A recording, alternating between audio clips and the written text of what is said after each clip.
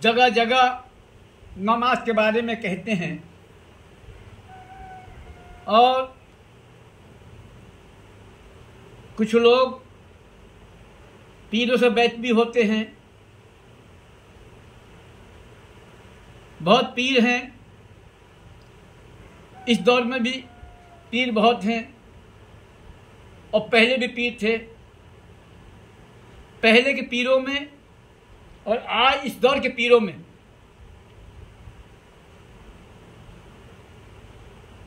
बहुत फ़र्क है। आज के मुरीदों में और पहले के मुरीदों में बहुत फ़र्क है।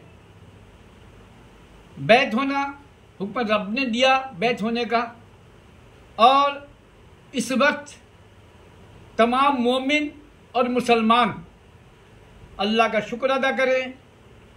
कि हज़रत जैनुल आबदीन असलाम से हर जैनुल आबदीन से रही तु से अल्लाह ने ये बैत का सिलसिला कायम किया।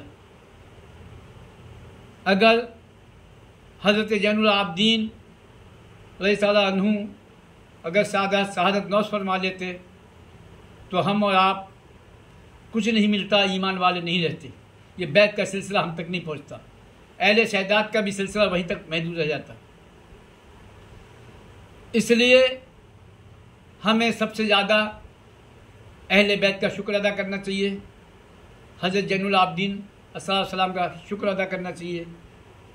हमें बारह इमामों का शुक्र अदा करना चाहिए, जिन्होंने हमें इस सिलसिले को कायम दायम रखा और हमें रास्ता बताया। लिहाजा जब पीर से कोई वाबस्ता हो जाए, पीर से मुरीद हो जाए तो पहले तो पीर को चाहिए, पहले पीर को चाहिए कि अपने मुरीद को, जब उस वाबस्ता हो गया और जब उसने प्याला पी लिया, पीर का तो सबसे पहले वो पीर अपने मुरीद को दर्श दे, ताकीद करे हुक्म दे कि अपने माँ बाप की सेवा करना। माँ बाप को ख्याल रखना। खुद से पहले माँ बाप को खिलाना। माँ बाप का अदब एहतराम करना। माँ बाप के वालिद वालदेन की आवाज़ से ऊँची आवाज़ ना जाए। माँ बाप का दिल किसी कीमत पर ना दुखे। कसदन कसदन तरीके से अपने पीर को हुक्म दे, अपने मुरीद को हुक्म दे। पीर का काम है। अपने मुरीद को हुक्म दे कि माँ बाप का ख्याल रखना। कानून बताए, अगर माँ बाप नाराज़ हैं तो न ये बैत काम आएगी, न नमाज़ काम आएगी, न जक़ात काम आएगी, न रोज़ा काम आएगा, न हज काम आएगा। कुछ भी काम नहीं आएगा अगर माँ बाप नाराज़ हैं तो। ये खौफ कानून का तमाम पीरों को, अपने मुरीदों को, ये दर्श देना चाहिए, खौफ कानून का बताना चाहिए। ताकि मैदान हर्ष जब हो तो पीरों से पूछा जाएगा कि तुमने ये पैगाम कहाँ तक पहुँचाया? ये कानून किस किस को बताया? जब ये कानून समझ लेंगे, इसका खौफ पैदा हो जाएगा तो मुझे यकीन है कि वो मुरीद अपने माँ बाप की आवाज़ से ऊँची आवाज़ नहीं देगा। अपने माँ बाप का ख्याल रखेगा।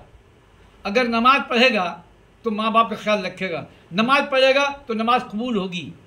हज करने जाएगा माँ बाप की दुआओं से हज कबूल होगा। कोई भी काम अगर करेगा तो माँ बाप की दुआ से पूरा होगा। माँ बाप राज़ी हैं तो अल्लाह राज़ी है, अहल बैत राज़ी हैं, नबी राज़ी हैं। इसलिए एक जब जहाद का हुक्म हुआ ऐलान हो गया कि जहाद के लिए तैयार हो जाओ। तो एक लड़का था जवान, वो फौरी नबी के पास आया और कहा, या अल्लाह मैं आपके साथ चलता हूँ जहाद के लिए तैयार हूँ। आपने फरमाया, तुम्हारे घर में कौन कौन है? कि माँ है। माँ कैसी है? क्या तबीयत? कैसी तबीयत है? कि माँ की तबीयत नासाद है। हुक्म दिया कि जाओ जहाद के लिए मत जाओ। पहले माँ बाप की सेवा करो, माँ की खिदमत करो, माँ का देखभाल करो। तो ये मुकाम है जबकि जहाद का हुक्म होने का मामला यह है, हुक्म होते ही अगर खाना खाता है तो फौरी छोड़ दे। वहाँ फौरी तैयार हो जाए। लेकिन नबी ने फरमाया माँ बाप की खिदमत करो, तुम माँ की खिदमत करो। इसलिए माँ बाप की खिदमत करना सुन्नत भी है, फ़र्ज़ भी है। हुक्म नबी ने दिया, अल्लाह ने हुक्म दिया कि माँ बाप की खिदमत करो। हमें सारे फ़र्ज़ अदा करने के लिए हुक्म दिया। नमाज़ फ़र्ज़ है, पढ़ो। लेकिन माँ बाप की सेवा भी फ़र्ज़ है। पढ़ो माँ बाप की खिदमत भी सेवा, फ़र्ज़ है, पढ़ो। तो हमें सबसे पहले जो फ़र्ज़ अल्लाह ने हमें बताया है, सबसे पहला फ़र्ज़ है हमारे माँ बाप की खिदमत करना, और इसी को भूल गए। इसीलिए जब बैत होता है तो जो भूली चीज़ है, वो पीर याद दिलाता है। जो भूल जाता है इंसान, जब बैत होता है तो भूली चीज़ को याद दिलाता है। इसीलिए कहा, याद है तो आबाद है और भूल गया तो बर्बाद है। इसलिए मेरे तमाम भाई बहन अगर बैत हो जाएँ तो माँ बाप का ख्याल रखें। ये मेरी सबसे गुजारिश है और ये कानून को दिल पे लिख ले, अपने कानून को दिल पे लिख ले।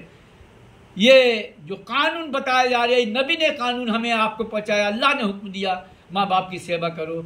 ये कानून, वो कानून है, अगर हमने इस पर अमल नहीं किया, इसको हमने छोड़ दिया, ना हज काम आएगा, ना नमाज़ काम आएगी, ना रोज़ा काम आएगा, ना जक़ात काम आएगी कोई भी काम नहीं आएगा आपका अमल।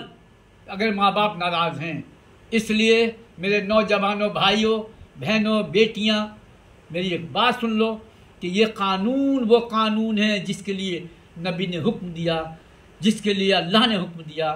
हज़रत मूसम का वाक़ आपने सुना होगा कि जिस वक्त कोह तूल पर हज़रत मूसम जब जाया करते थे तो अल्लाह से हम कलाम हुआ करते थे, दुआ सलाम करते